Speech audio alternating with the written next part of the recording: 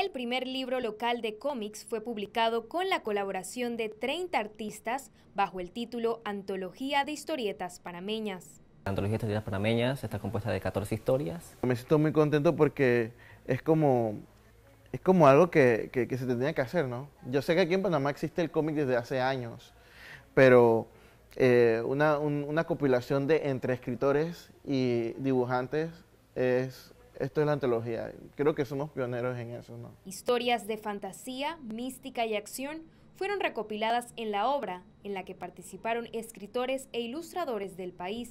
En este libro yo escribí Jake and the City, escribí la historia y creé el guion técnico, es decir, toda la composición de la página y el concepto de la historia trasladada hacia un cómic para que entonces la ilustradora, que es Carla Ávila, pudiera tener entonces la tarea de dibujarla y colorear. Nos tomó meses porque a veces nosotros terminábamos, solamente tenemos ocho hojas para poder hacer la historia y a veces no alcanzábamos, a, veces quedábamos muy cortos, entonces tenemos que editar eh, los paneles del cómic. Zonas, animales y temas representativos de Panamá pueden ser hallados en la pieza de arte. Su portada y contraportada es un ejemplo de esto. Esta una pieza de Ricardo Jurado, pues él compuso la, portada y también la contraportada.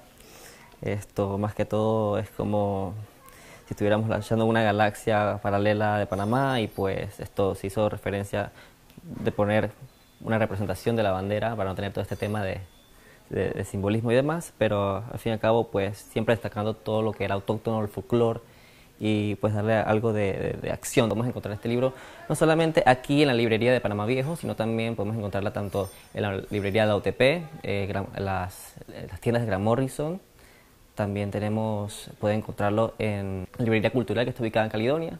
Pueden adquirirlo también a través de Comixology, que es una plataforma de Amazon y está a un coste de 10 balboas y pues esto para todo aquel que quiera mantenerlo por el resto de su vida, ahí es una buena opción para adquirirlo. En total, mil ejemplares fueron distribuidos en la ciudad.